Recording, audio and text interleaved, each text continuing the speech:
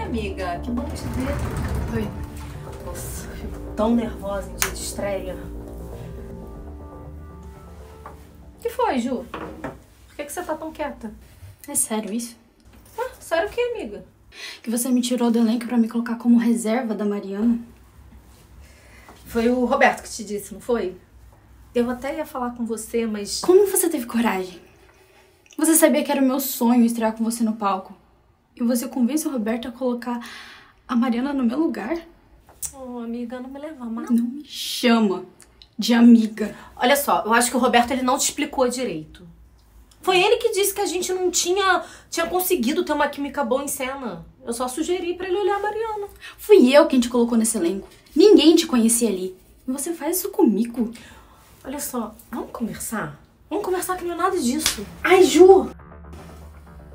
Nunca mais pronuncie o meu nome, entendeu? Ô, Ju, calma, você tá muito nervosa. Vamos conversar como boas amigas que somos.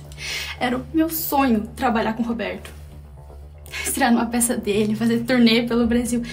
E agora eu recebo a notícia de que eu vou ser substituta da Mariana e se eu quiser, eu posso ficar vendo tudo nos bastidores? Mas eu não tenho nada a ver com isso. Foi o Roberto que decidiu assim.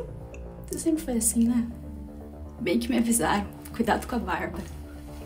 Mas eu, tonta, achei que você fosse minha amiga. Ô, Juliana, não é nada disso. Só vim aqui te avisar uma coisa. Você vai colher o que plantou. Eu vou adorar ver você cair no cavalo. Eu vou adorar ver sua máscara cair na frente de todo mundo. Terminou? Terminou o quê? Terminou de encher minha paciência. Eu preciso acabar minha maquiagem.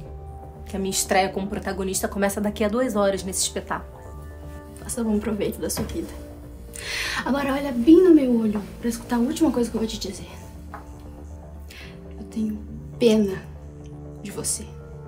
Você vai acabar sozinha e infeliz.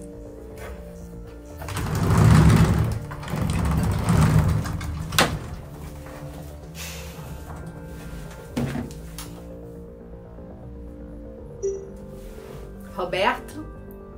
Oi. Sua protagonista tá pronta. Vamos com tudo.